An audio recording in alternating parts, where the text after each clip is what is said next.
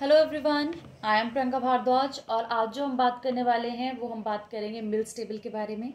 हम जानेंगे कि मिल्स टेबल क्या होता है, कौन सी डिज़ीज़ के लिए यूज़ किया जाता है, क्या इसका सिग्निफिकेंस है, क्या रूल्स हैं और क्या इसका काम है। चलिए, मिल्स टेबल की अगर हम बात करें तो मिल्स टेबल क्या है, दो चीज़ों को रिलेट करता है। किस किस चीज़ को? पहली चीज़ है लीफ वेटनेस और दूसरा है temperature meals table basically apple scab के लिए यूज़ किया जाता है। एप्पल स्कैप किससे होता है? वेंचूरिया इनक्वालिस से होता है। अगर हम टेबल के रूल्स की बात करें तो ये क्या बोलता है? पहला ये बताता है कि लाइट इन्फेक्शन कब होगा हैवी इन्फेक्शन कब होगा। दूसरा ये बताता है कि कोनीडिया प्रोडक्शन कितने दिनों में होगा, कितने टेम्परेचर पे होगा। पहली बात करते हैं लाइट इन्फेक्शन की। तो अगर हमारे पास में 18 डिग्री सेल्सियस तो हमारे पास में इन्फेक्शन जो होगा वो लीव्स अगर नाइन आवर्स के लिए वेट हैं तो लाइट इन्फेक्शन होगा। और अगर लीव्स एटीन आवर्स के लिए वेट है तो हैवी इन्फेक्शन होगा। दूसरा कुनीडिया के लिए क्या बोलता है टेबल कि अगर हमारे पास में एवरेज टेम्परेचर जो है, वो 18 डिग्री सेल्सियस है तो कुनीडिया प्रोडक्शन नौ दिनों में हो जाएगी नाइन डेज़ में। और अगर हमारे पास में एवरेज टेम्परेचर 18 डिग्री सेल्सियस नहीं है तो जो कुनीडिया का प्रोडक्शन है, वो 17 डेज़ तक भी नहीं होगा। ये दो जो रूल्स हैं, वो मिल्स टेबल के रूल्स हैं। अब बात करते हैं कि एप्पल स्कैप के लिए यूज़ हो रहा है। एप्पल स्कैप किससे होता है? वेंचूरिया निक्वालिस से।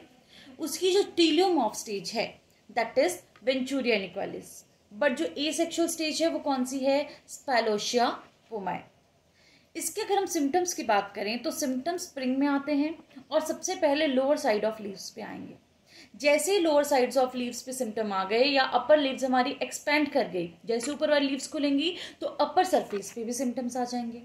अब सिम्टम्स इसके किस तरह के आते हैं? सिम्टम्स में बेसिकली हमारे पास वेलवटी सर्कुलर सिम्टम्स देखने को मिलते हैं, जो क्यों बनते हैं? Due to production of conidia अब बात करते हैं कि इसमें शेप कैसी कैसी पाई जाती है, जो कोनीडिया है उनकी शेप कैसी है, या फिर एस्कोस्पोर्स की शेप कैसी है, या कौन सी फ्रूटिंग बॉडी बनती है। तो एप्पल स्कैब में हम एक चीज़ याद रखेंगे कि इसके जो एस्कोस्पोर्स हैं, वो फुट प्रिंट शेप के होते हैं। फुट प्रिंट शेप का मतलब है कि जो नीचे वाला सेल है, उसका साइज़ अलग होगा, ऊपर वाले सेल का साइज़ अलग होगा। तो इसलिए क्या होता है, हम इसका नाम रख दिए। क्या रखा हमने इसका नाम? इन मतलब कि जो बराबर नहीं है। अगर हम बात करें इसके कोनीडिया की तो कोनीडिया इसके कैसे होते हैं? फ्लेम शेप के इसके कोनीडिया होते हैं। और अगर हम फ्रूटिंग बॉडी की बात करें कि फ्रूटिंग स्ट्रक्चर इसमें कौन सा बनता है तो इसमें बनता है स्यूडोथीशियम और अगर हम बात करें इस डिज़ीज़ के मैनेजमेंट की तो मैनेजमेंट में हम क्या करते हैं, पूरा स्प्रे स्केड्यूल है जिसको हम इस डिज़ीज़ के लिए फॉलो करते हैं। जैसे फॉर एग्ज़ाम्पल कि अगर आपके एप्पल में अलग अलग स्टेजेस आते हैं, जैसे पी साइज़ की स्टेज आएगी या वॉलनट साइज़ की स्टेज आएगी या आपकी फ्रूट डेवलपमेंट की स्टेज आएगी, हर स्टेज पे डिफरेंट केमिकल को या डिफरेंट मैनेजमेंट प्रैक्टिस बेसिकली हमें क्या समझ आया हमें ये समझ में आया कि मिल्क स्टेबल जो है वो फॉरकास्टिंग के लिए यूज़ किया जाता है राइट right? हमें पता चल जाएगा कि डिज़ीज़ आएगी अगर ऐसे कंडीशंस हैं तो हमें क्या यूज़ करना है? प्रिवेंटिव मेजर्स को यूज़ करना है या प्रोफाइलेक्टिक स्प्रेज करनी है।